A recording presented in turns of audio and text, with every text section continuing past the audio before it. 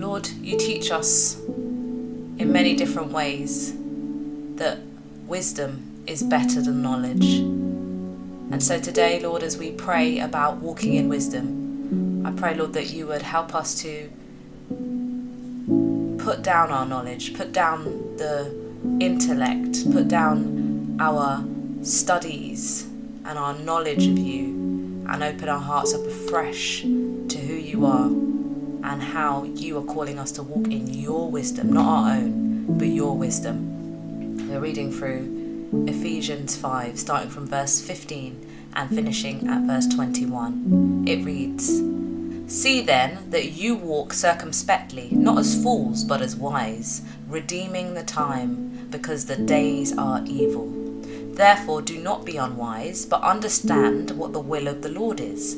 And do not be drunk with wine, in which is dissipation, but be filled with the Spirit, speaking to one another in psalms and hymns and spiritual songs, singing and making melody in your heart to the Lord, giving thanks always for all things to God the Father in the name of our Lord Jesus Christ, submitting to one another in the fear of God.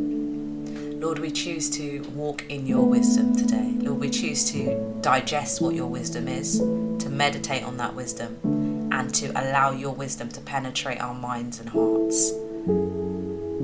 Lord, it's so easy to think that we're knowledgeable, that we know the right way, that we are the ones that are the masters of our own lives. But Lord, as you've shown us again and again and again in Scripture, Lord God, we are not the masters of our own lives, you are. Lord, you are God in heaven, Lord, and you're the one that gives us breath. And you're also the one, Lord, that controls our days and ends our days. And Lord, here you remind us that we need to walk as you want us to walk in your wisdom because we actually don't know how many days we have. But you do, Lord. And Lord, you remind us here, Lord, that the days are evil. Sometimes it's so easy to be wrapped up in doing certain things, despite the fact that they take us away from you. Lord, there's so many things that are enticing. There's so many distractions, Lord, that are all around us, Lord, that take up so much of our time. Today, Lord, would you help us to identify those distractions, Lord, and to put them away so that we can really understand that each day is precious. Each day is given to us by you to fulfill what you want fulfilled in that day. Lord, help us to understand that the days are evil, and Lord, in those days, we need to seek you for what we should do in our day. Lord, where we are spending hours and hours and hours doing things where we perhaps are wasting our time.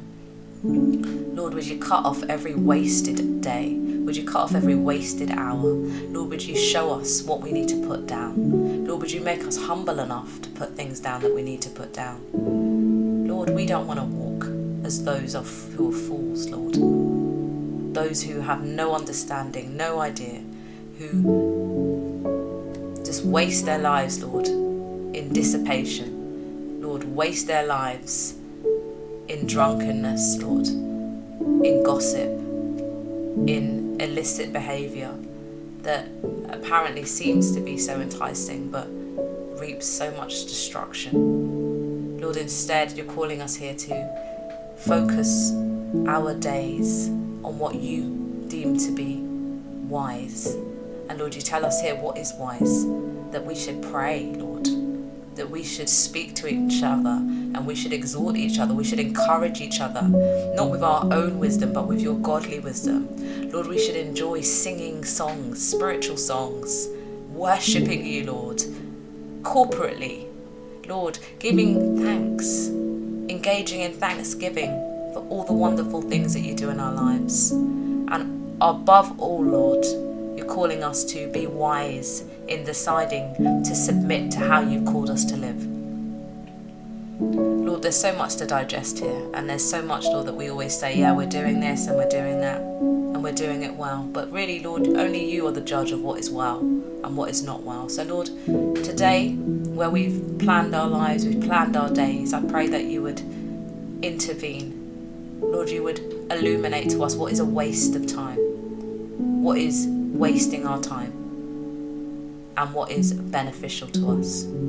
Help us to walk as you want us to walk. Lord, we love you. Lord, we love you, Lord, and we just desire to follow you in spirit and in truth. Lord, fill us afresh with your Holy Spirit. Cover us, Lord. Penetrate our hearts and minds. Renew us, Lord, daily, minute by minute, hour by hour, Lord. Work on our minds so that our behaviour, our walk, our conduct lines up with your will and your way. Thank you, Jesus. Thank you for everything you do for us. Thank you for who you are. Lord, we love you. In Jesus' name I've prayed. Amen.